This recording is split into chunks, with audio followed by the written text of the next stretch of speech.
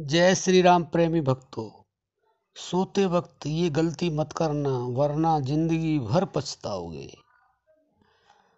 भक्तों, ये संतों का कहना बिल्कुल सच है कि सोते समय ज़्यादातर लोग गलतियाँ करते ही हैं। क्या गलतियाँ करते हैं? वह, यह सबसे बड़ी गलती करते हैं कि सोते समय इंसान को उस वक्त उस परम पिता परमात्मा को याद करना चाहिए, जिसने ये मनुष्य शरीर दिया है। लेकिन ज़्यादातर लोग अपने संसार के कार्यों में जो सारा दिन कार्य हुआ है, बस उसी में उलझे रहते हैं और उसी में उलझे रहने के साथ उन्हीं कार्यों को याद करते करते सो जाते हैं। तो स्वप्न में भी सब कुछ वही चलता रहता है। लेकिन संत समझाते हैं कि सोते समय अपने को निर्विचार करके और ऐसी अवस्था में सोना चाहिए जैसे आदमी मरा हुआ होता है। क्योंकि ऐसी अवस्था में अगर आप सोएँगे, आपको स्वप्न जो दिन भर कार्य किया हुआ है नहीं दिखाई देंगे और आपको परमात्मा से जो भी कुछ प्राप्त होना होगा, रात के समय, सोते समय, वह स्वप्न के द्वारा आपको प्राप्त हो सकता है। अगर आप उस समय परमात्मा को याद करके सोएँ तो आपको कभी पछताना नहीं पड़ेगा, क्योंकि यह संतों की वाणी है कि सोते समय अपने शयन कक्ष में अपने सारे कामों से निर्वृत्त होकर के खाना पीना खा करके हाथ पैर धो करके सोएँ और एकाग्रचित होकर के उस परम पिता परमात्मा को याद करें।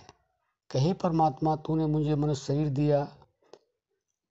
इसमें मुझे अच्छा सही के साथ साथ मन बुद्धि दी। सोचने के लिए मन है, निर्णय करने के लिए बुद्धि है। और सारी इंद्रियाँ जो हैं, वो सांसारिक कार्य करने के लिए ही।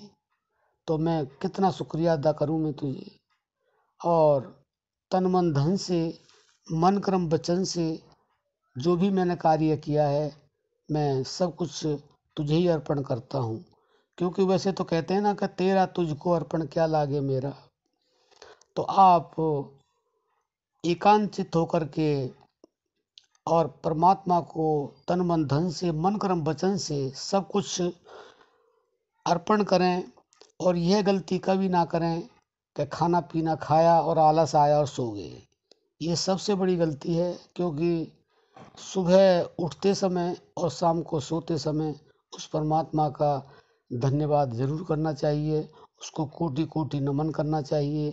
अगर आप यह गलती करते हैं तो वास्तव में आपको इस जीवन में तो पछताना पड़ेगा ही, लेकिन आने वाले अगले जन्मों में भी आपको पछताना ही पड़ेगा, क्योंकि इसने ये जो नर्तन देह है, यह बड़ी मुश्किल से, खुशामद से हमें प्राप्त हुई है, और हमने पता नहीं क्या क्या भोगा है, और आगे भोगेंगे।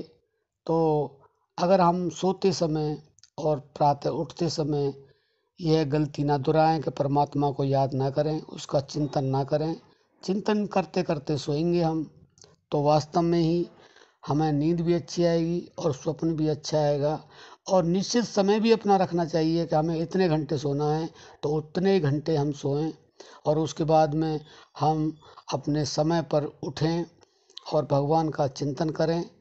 तो भक्तों, अगर आपने यह गलती नहीं की तो वास्तव में आपका जीवन सफल होगा, आपको कभी पछताना नहीं पड़ेगा। अब हम अपनी वाणी को विश्राम देते हैं। जय श्री राम।